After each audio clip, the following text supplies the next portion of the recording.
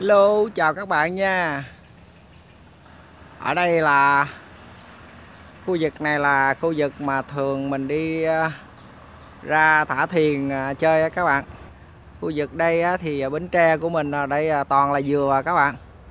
Lớp nào là dừa xiêm, dừa khô. Bên kia sông thì dừa nước. Dừa khô thì mùa này à, nước mặn cây của mình nó cũng à, không có trái nhiều các bạn. Mình à, thấy mấy cái mo này nó rớt xuống dưới này. Mình liên tưởng nó giống như cái chiếc thuyền. Thường thường là mình chơi thuyền thái cái mỏ nó nhọn nhọn các bạn. Thì hôm nay, sẵn đây mình lại có một cái ý tưởng là mình sẽ lấy cái mo nang của cái cây uh, dừa các bạn. Mo nang nè ở trên cây dừa nó có cái mo nang nè. Thì uh, mình nghĩ ra là cái ý tưởng là mình lấy cái mo nang nó mình làm chiếc thuyền thử coi chạy được không ha các bạn. Làm thử coi. Ô rồi thì hôm nay tình cờ mình đi uh, sửa máy. Mình uh, phát hiện uh, ở đây có người đốn dừa các bạn. Mình uh, thấy đây có cái mo nang nè rồi mình lại mình xem cái monang này như thế nào. Mình à, lấy về mình à, coi mình làm bảy chiếc thuyền coi được không ha các bạn. Rồi thì đây là cái monang mình đã à, lấy được à, từ cái cây dừa. Bây giờ à, các bạn cùng à, xem mình à, chế à, chiếc thuyền nha các bạn.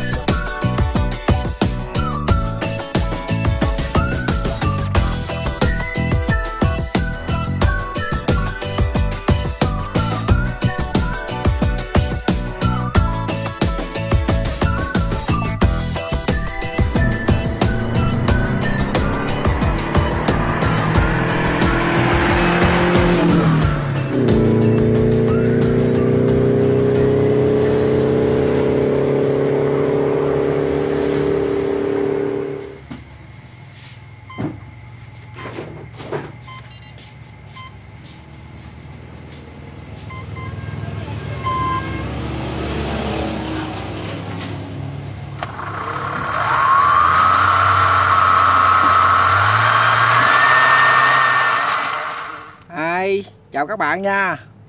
Mình à, vừa rồi mình đã chế thành công cái à, chiếc thuyền bằng cái vỏ monan á các bạn. Monan bằng dừa các bạn. Bây giờ mình đem xuống sông mình thử cây nó chạy được không nha. Đây chiếc thuyền của mình đây các bạn. Mình để xuống coi. U lé đé luôn các bạn ơi. Thế cái nó khởi động được không nha? Nó chạy được không nha? Tại vì mình làm mình không có ờ, thử. Ở nhà mình không có xong, mình không có thử được. Giờ mình ra đây mình thử coi. Ô, chạy cũng được các bạn ơi.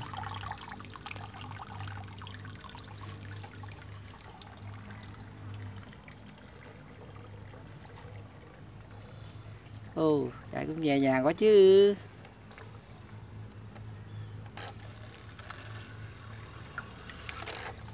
Tuyệt vời ông mặt trời luôn các bạn ơi.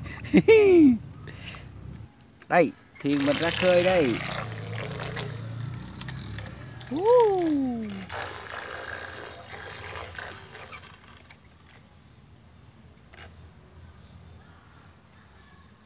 Để vô coi.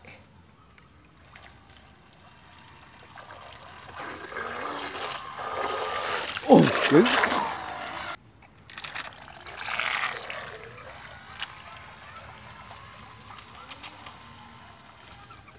đã